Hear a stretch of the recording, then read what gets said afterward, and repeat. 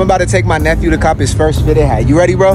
Let's go. Yo, so this is my nephew Gerald. A lot of you guys have seen me take my nephew Gregory hat shopping, but this is his little brother. He came in on a good day because there was some heat. This collection was crazy, and he didn't know which one to choose. Tell me, would you have chose the Diamondbacks or the Rockies? We were struggling. They're both super fire. The details and the colorway on this are crazy. I want you guys to take a guess. Which one do you think he got?